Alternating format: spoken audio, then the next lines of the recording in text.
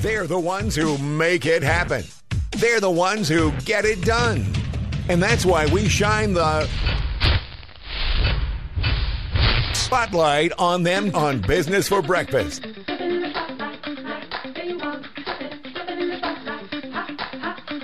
It's time now for the Business Leaders Spotlight on Money Radio. Well, it is that time of the week once again. Every Monday, Wednesday, and Friday at 7:35, we sit down and visit with some of the Valley's business leaders, men and women, making a difference right here in our own backyard and our communities. And our next guest is doing just that in Scottsdale. Let me introduce you to Shandee Chernow. She is the uh, founder and owner of uh, a great company that I think is really going to make a difference for a lot of people. It is called Certistar Tech Platform.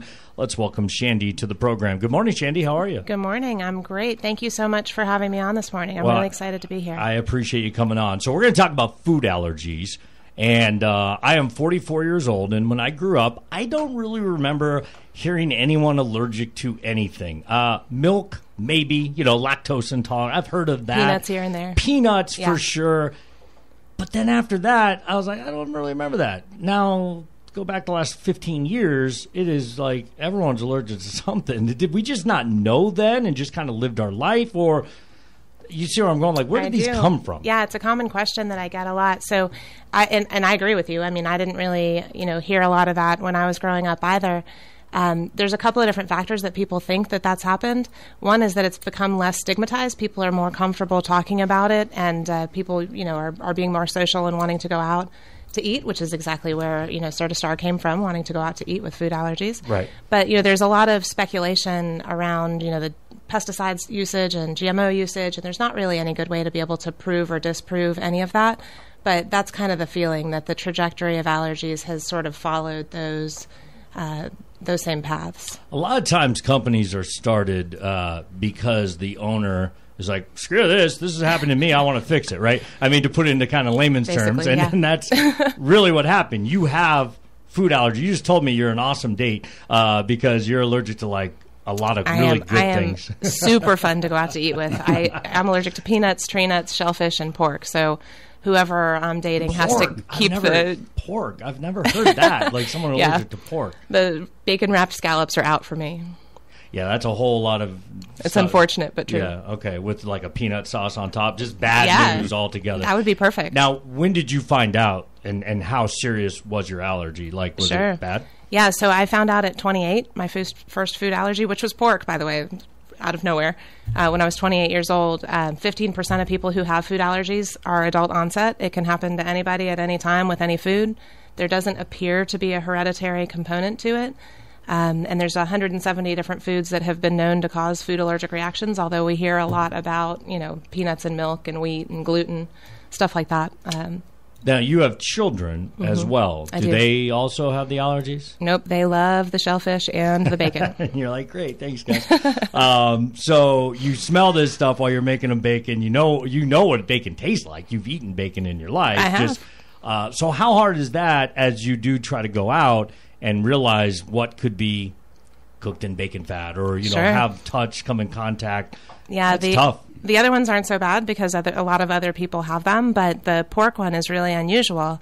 So one of the reasons we started Certistar was because uh, you know people who have all these other different types of food allergies and combinations of food allergies kind of make the heads of restaurant staff explode a little bit when we go in and try to stay safe to eat. And so Certistar solves that problem. Uh, we don't discriminate between any of the different foods and we try to keep people as safe as possible and eliminate that great big long stressful conversation that can happen in the restaurant. Certistar is the name of the company, newly launched tech per, uh, platform. The owner and founder is Shandee Chernow. Uh, Shandee has been uh, here in the Valley and doing this in Scottsdale. I, I want to ask about I, gluten is a big one. Um, I do feel like a lot of restaurants now they have the gluten free menu, right?